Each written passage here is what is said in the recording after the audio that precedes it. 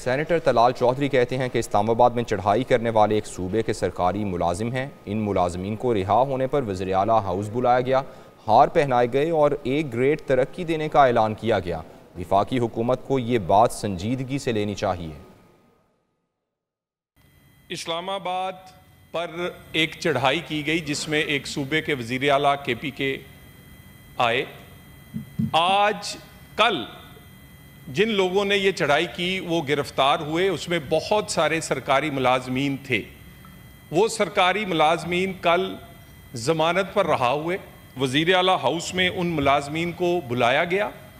के पी के वज़ी अला ने उन मुलाजमीन को एक हफ़्ते की छुट्टी, उनके गलों में हार पहनाए और कहा कि आपको वन आपको वन स्टेप प्रमोशन दी जाएगी। चेयरमैन साहब, गुजारिश ये है कि ये इस बात को वफाकी हुकूमत को सीरियस लेना चाहिए।